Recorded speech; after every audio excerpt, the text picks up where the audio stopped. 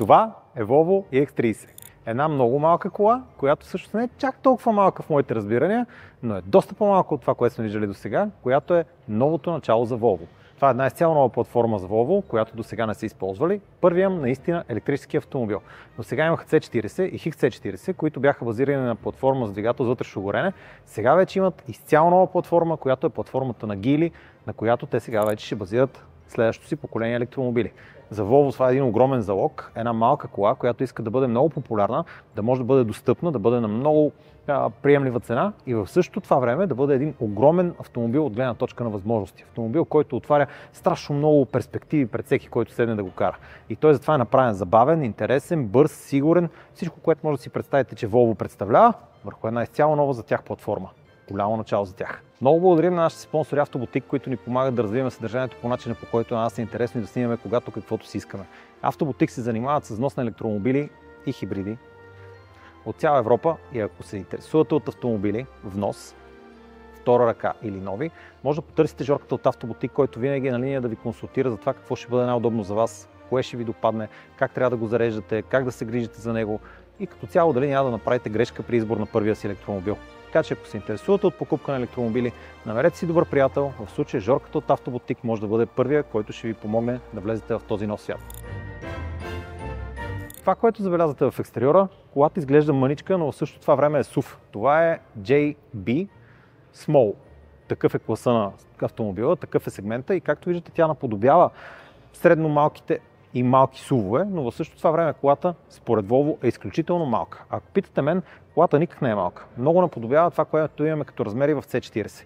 Визията е доста различна. Като погледнете предницата, предницата съдържа чука на Тор, който е в фаровете, който е специфичната визия на Volvo, която те налагат в последните няколко години. В същото това време виждате една изключително изчистена предна решетка, която е дори още по-изчистена от това, което имахме при C40. При C40 тя беше а, решетка, която се използва за охлаждане на двигател за вътрешно горене при XC40 и след това е направена просто непрозрачна, за да може да изглежда като електрическа кола, докато тук имаме една изцяло нова предница, която вече е за електрическа платформа. Тук няма компромис, колата е проектирана да бъде изцяло електрическа платформа. Предишната платформа, която се използваше при XC и C40, беше платформата на Volvo, която е CMA платформата, която беше модуларна и на нея се монтираха всякакви видове задвижвания. Сега в момента имаме платформата на Geely, която е C2, която е втората ревизия на C платформата, при която вече имате платформа, която е изцяло електрическа и няма централен тунел. Въпреки изчистената визия и изчистената предна решетка, имаме релефна емблема и много интересна текстура в предната броня. Както виждате има и малък сплитър, който подчертава агресията на тази малка кола, защото това е най-мощното Volvo правено до сега най-бързото, най-мощното и вероятно едно от най-сигурните, които са правени до сега. Volvo определено залага много на него и платформата им е доста могъща.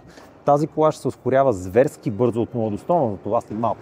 Мъничко задно стъкло, интересен голям спойлер отзад на задницата, както виждате.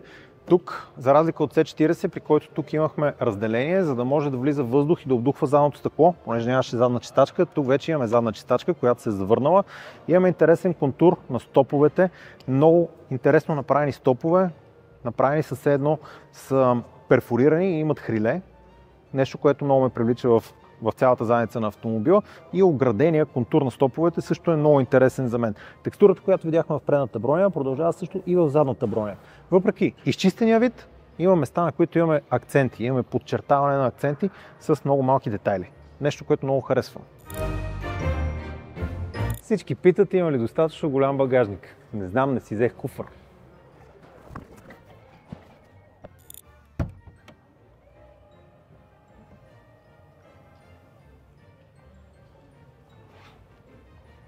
Супер е, бе. Даже има място и за още един.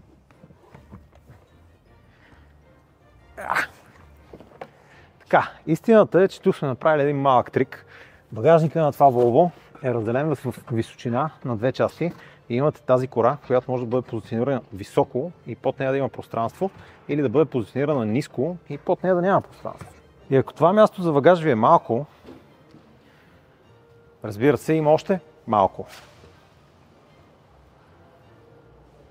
Наистина малко. Тук може да държите няколко кенчета, газирана вода или може би зарядна станция, но като цяло изключително малък фрънк и той затова не е направен особено удобен за отваряне и затваряне. Пространство на задната седалка, определено колата не е безкрайно широка. C40 беше по-голямо на задните седалки, което направи предната седалка така, както на мен ми е удобно да седа на нея, определено няма безкрайно много място на задните. Виждате, седнал съм, нисък е ръба на задната седалка, в същото това време предната седалка е близко. А ако трябва да сложа детска седалка, няма проблем, детето ще е способно да седи тук, но ще може да рита предната седалка. А ако трябва да сложа голяма детска седалка, която от 0 до 4 години, крака и ще може да стъпи на пода, но най-вероятно леко ще подпира в гърба на предната седалка. Определено ще, ще е добре да има още повече пространство, но това все пак е най-малкият SUV, който Volvo предлага. Ако искате по-голям, C40 ще бъде вашия избор. В същото това време е много просторно. Има страшно много място над главата ми, много място зад главата ми. Често казано бих казал, че е доста обемно и също усещането, което този огромен панорамен покрив дава на задните седалки е един простор и един, една светлина, която определено харесвам. Вече все повече и повече производители започват да правят стъклени покриви. Първо, защото са достатъчно сигурни, второ, защото спестяват много тежест на автомобила и трето, защото спестяват много обем, много място. А ако това не беше стъклен покрив, тук ще, ще да има градички, ще, ще да има марина, която за да не прави резонанс, трябва под нея да има усилване и покрива ще, ще слезе с 4 или 5 см надолу. Затова стъклото е решението на този проблем при все повече и повече производители. Също както и при Тесла и някои други производители, тук нямате штора, която е вградена в автомобила.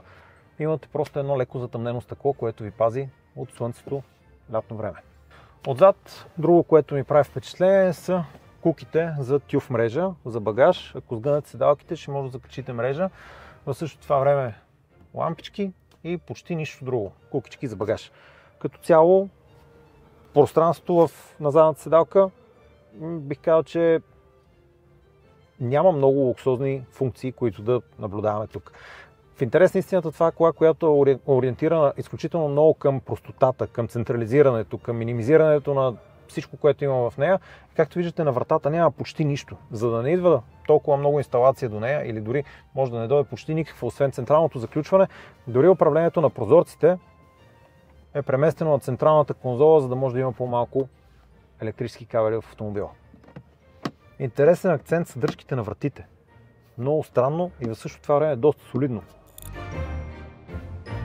Първото, което ми прави впечатление са материалите. Материалите са ефтини, но в никакъв случай не бих казал неприятни. Материалите са със сигурност поне на нивото, на което са в Тесла. Мисъл като усещане от винила, който е по седалките, бродерията, текстила, интересен е материал, от който е направен от предното табло, тази рециклирана пластмаса, определено акцентите в нея ми харесват. От самото начало, това, което исках да видя, откакто представиха колата, беше този интериор с жълтия цвят на екстериора. След търпение чакам да видя жълтия цвят, но интериора бих казал, че ми е интересен. Като седнете на предната седалка, колата се усеща мъничка, ама наистина мъничка. Тясно е, близко е съседната седалка, целият интериор е доста събран, но все пак имате предвид, че това е малък СУВ. Това е градски автомобил, който се очаква, че ще бъде използван за движение в или около града. Интересен акцент е, че волана е сплескан отгоре и отдолу, за да изглежда по-маничък.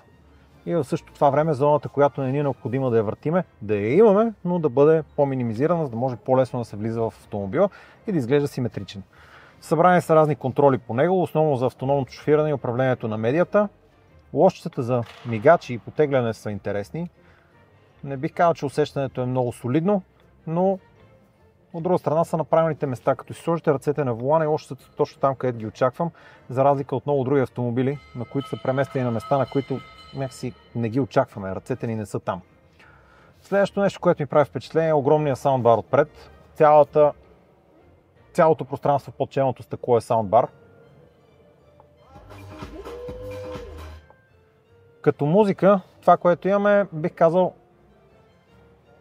нищо впечатляващо. Има сила, няма плътност, има обем, но определено не е нещо, нещо велико. Действително, концентриране е тук, правят ми впечатление решетки на задните врати, т.е. и отзад има някакъв, някакъв сараунд, но това по-скоро е музика, която съществува в колата, за да допринесе още малко уют и комфорт, но в никакъв случай не е музиката, на която ще се качите, за да се насладите и това да бъде най-великата музика, на която сте се возили. В тази кола са направени доста компромиси, за да може цената и да бъде добра и тя да бъде изключително достъпна, малка градска кола, която Volvo залага толкова много. Така че нормално е тези компромиси да бъдат направени в нея и въпреки това саундбара е Harman Kardon. Тоест очакваме да е малко по-добър от това, което би било средното ниво за повечето автомобили. Следващото изключително важно нововведение в този автомобил е централизирането на цялата информация от автомобила. Имате нещо, което прилича на малък дисплей пред волана, но то е също само датчици, които са за сигурността на шофьора, за да могат да следят дали той внимава в пътя, дали не е заспал. Това е концентрирано пред него. Всичко останало е изнесено в един централен дисплей. Минимизиране. Volvo се стараят наистина да минимизират разходите за всяко едно нещо. В автомобила се използва рециклирана стомана, рециклирана алуминий в много големи проценти от порядъка на 17, 20, 22%.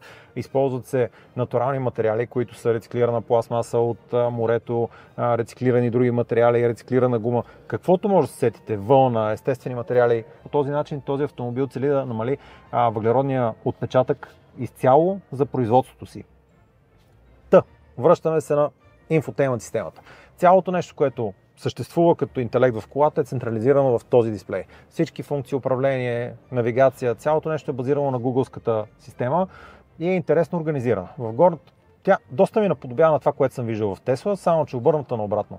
Дисплея е по-маничък и вместо да стои в Landscape, стои в портрет, което при Volvo съм виждал подобно нещо. В горната част е всичко свързано с шофирането. Разход, колко километра имаме, колко батерия имаме останала, пуснали ли си читачки фарове, всичко останало. Надолу а, имаме голяма карта, която е гордо около една трета или по-скоро половината екран. Под нея имаме радио, различни функции и най-отдолу имаме една тънка лента, в която са събрани климатика, управлението на звука и основното меню на автомобила. Това, което имаме тук е доста добре организирано.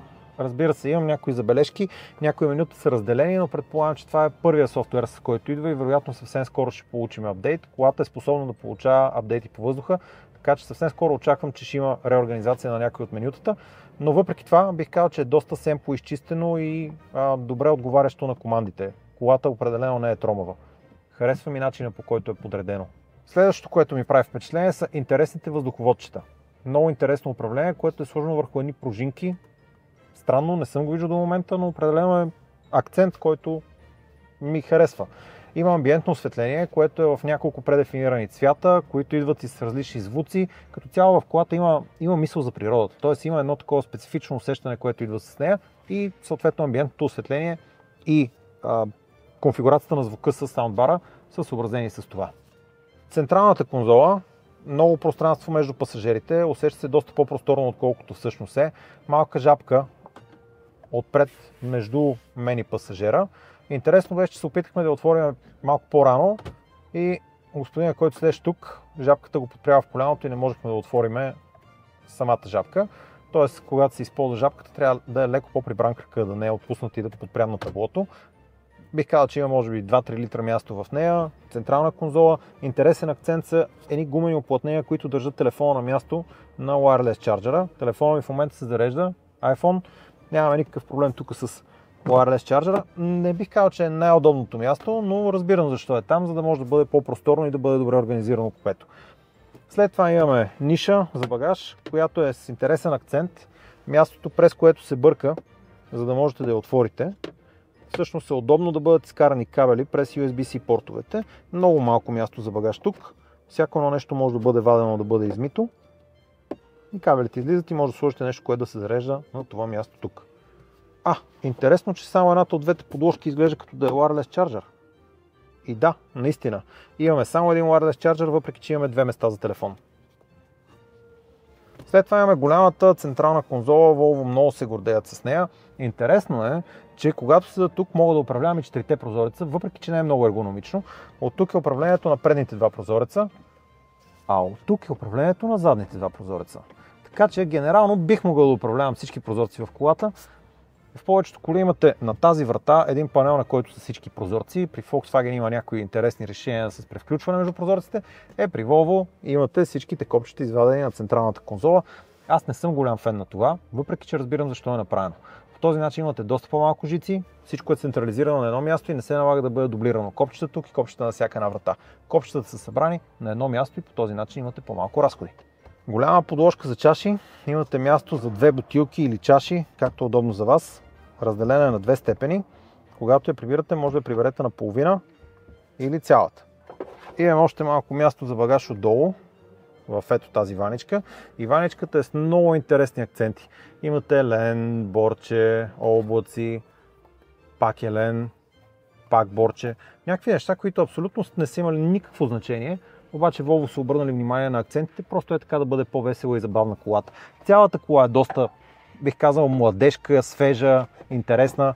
Усещането в нея е като, как да кажа, смятам, че това би била съвършена кола за малко семейство или дори за тинейджери. Колата е супер интересна и приятна, а особено с динамиката, която очакваме при 4x4 за движването, това ще бъде демон да се фокусираме върху разликите в трите различни версии.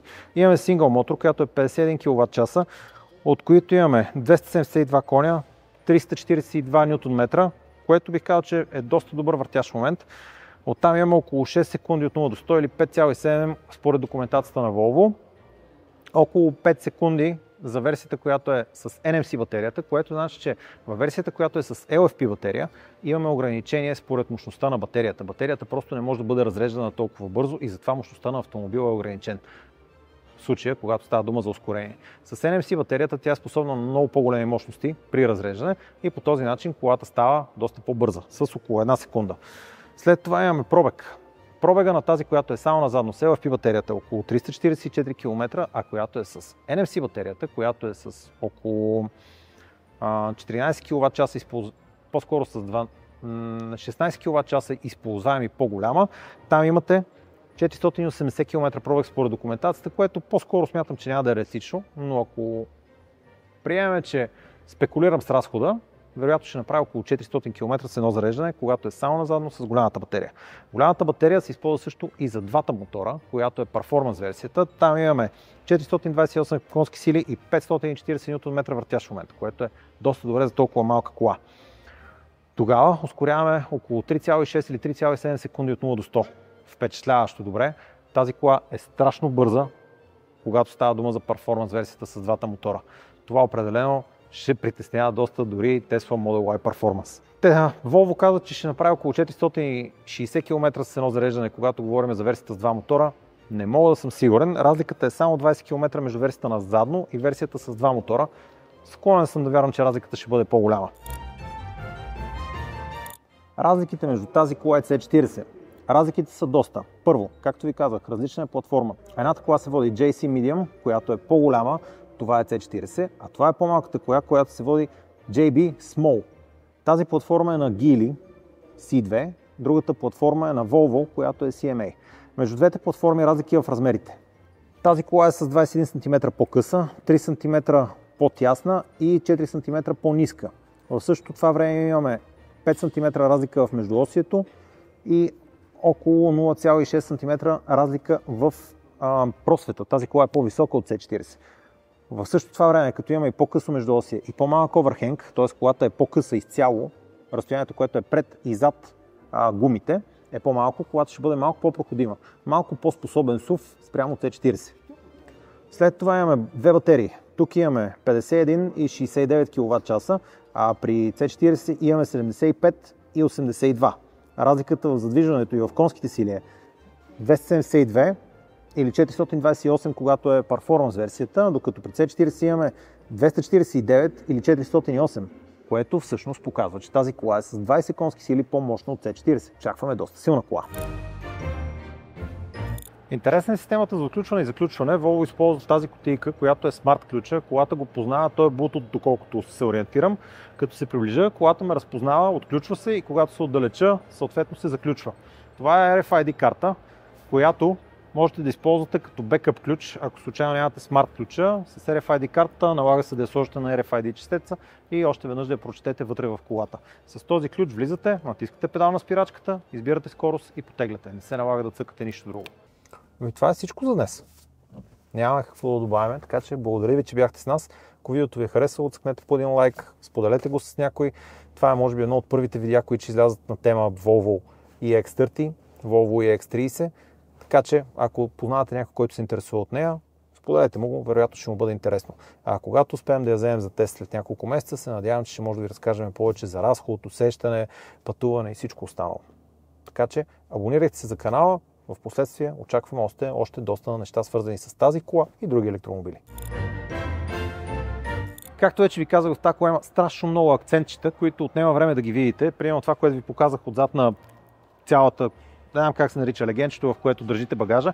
Е, тук има още един акцент, който е доста луксозен и много ми харесва. Логото на автомобила. Много благодарим на Volvo за поканата. Това беше едно събитие, което беше страшно интересно и имахме привилегията да бъдем от първите, които ще видят колата. И много благодарим на директора за това, че ни остави да снимаме колкото си искаме, въпреки че трябваше да затваряме и че ме остави да бъда толкова дълго време в колата, когато не трябваше да бъда. Проблема е, че продъл... ние продължаваме. Аз съм тук до вторник сутринта. След това съм на подкаст. Да приема, че имам 4 дни с колата? Взимай, няма никакъв проблем. Любо, ключовете са в теб, нали? Защото те ми го оставиха на мен. Не, нямам ключове, не знам за какво говориш. Да, ключовете някъде са изчезнали. Нямам ключове. Да, за... за- Няма. Благодаря ти, директоре, за това, че Тръгвай. си направил тази красота, на която да си снимаме. Пак заповядай. Ай,